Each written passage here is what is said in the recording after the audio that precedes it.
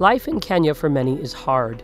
With more than 50% of the population living under the poverty line, education seems to be for the fortunate, not for the poor. This is Vanessa. She is four years old. She wants to be a driver when she grows up. This is David.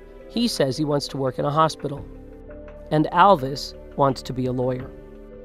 For them, these are dreams that probably will never leave this impoverished area. Most here tend to stay put, never getting out of the vicious cycle of poverty. I've been living in this place for like 10 years or so, and the people who have gone to university are very less. And they're accountable even because so many there's so many reasons. Some don't have money, some engage themselves in crimes and they died. So, but basically, it's because of money. The Assumption Sisters of Nairobi have been working in communities like these for more than 50 years giving hope and direction to the underprivileged, providing primary and secondary education for those who could never afford it on their own. Lucy Njoki has five children. Her daughter and niece attend the secondary school in the Kibagare slum in Nairobi. She earns what she can by washing clothes, just over a dollar per load. Her dream was to become a teacher, but this sadly was out of her reach. Her daughter wants to be a pilot, and Lucy says she encourages her to follow her dreams. And I try my best where I can so that I can be achieve my goal. If God wishes, I take one shot and sponsor and pay for her school fees. Jemima Niaguthi is 18 years old. Her mother is dead, and she has only seen her father at a distance once. Abused by her mother's brother, the Assumption sisters have looked after her, and she will take one of the 35 seats of the newly established Regina Pacis University College. She will work towards a Bachelor of Science degree in nursing. I got scholarship now. I have no problem because I'm able to learn. And now I'm the only person I can say that I'm educated in our family. Jemima's case is unfortunately not unusual. The need for education in this country is overwhelming. So too is the need for funding. Often girls living in abject poverty drop out of school, get married, or do whatever they can to get by. Dina Nasimuyu is one of seven children. Five of them are girls. Her parents' hopes are on her. Both are casual workers living from hand to mouth. Dina knows she's an example for the others. I really like to encourage mostly girls because boys can survive, but girls are the ones who have a very big problem. I want to study until I get a PhD. For these students, being here is already a great achievement. None of these young people ever thought they would be sitting in a university classroom. You can't find a place like this in Kenya, I don't think. So Regina Pacis is quite unique. This is Sister Marie Teresa Gachambi. It is her vision that is driving this project. I have always uh, realized that the, the poor, particularly women, coming from uh, poor family, the disadvantaged families, they don't have the opportunity to be able to realize their talents. This is the site for the Regina Pacis University College campus. The university will sit on these 50 acres in Machakos, just south of Nairobi. When I really look at this, I see opportunities in which the uh, the girls and the boys and people who are really marginalized having the opportunity to realize their dreams, to find a meaningful, uh, you know, life that they can use their talents.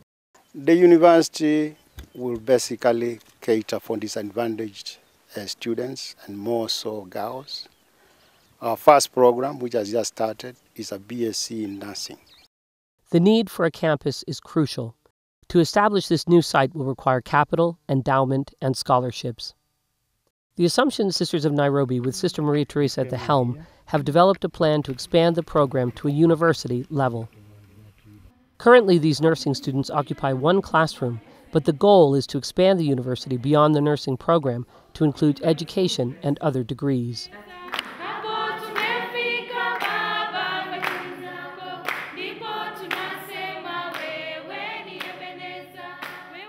But it is not just a stress on education alone.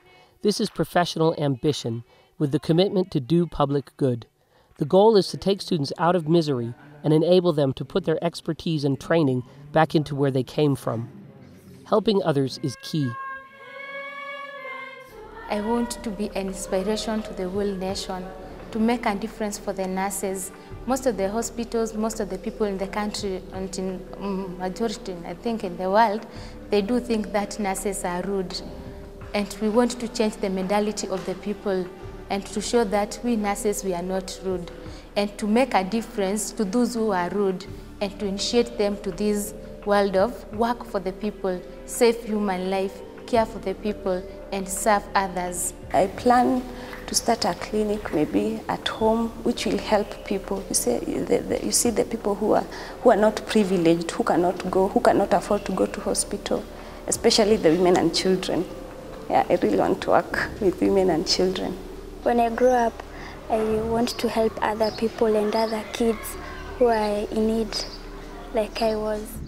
In many parts of the country, large numbers of people die at home or on their way to healthcare facilities. Women die giving birth due to lack of facilities, healthcare practitioners, or medicine.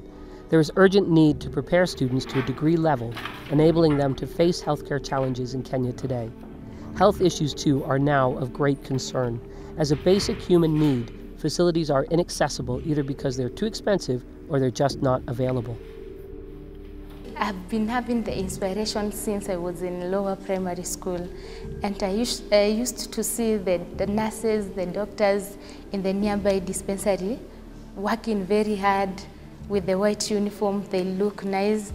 When somebody is taken to hospital and he gets well within two to three days, I really saw that it was a challenge.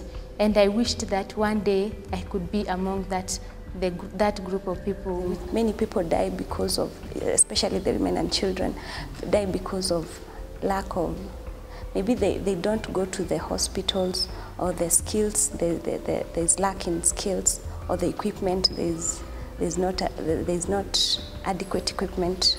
So I just, I don't know, maybe I'll make some change when I'm already a qualified nurse. Of all university students here in Kenya, less than 30% are women and those are the people who can afford to go, leaving those with no money for fees marginalized, stuck.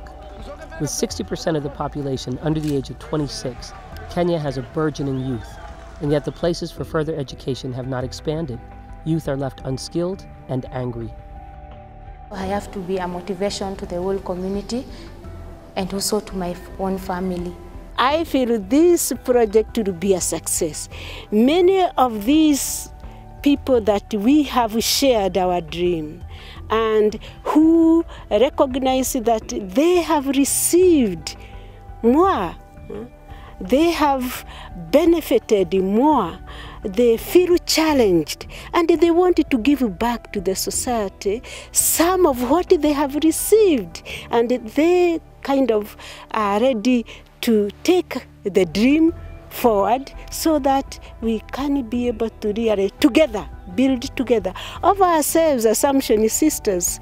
We, we, we feel we need a collaborative effort. Yeah. And we need you all